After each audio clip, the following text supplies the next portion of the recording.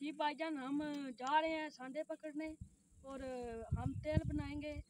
और हम बेचेंगे ये तेल आपने लेना हो तो बता देंगे एक बार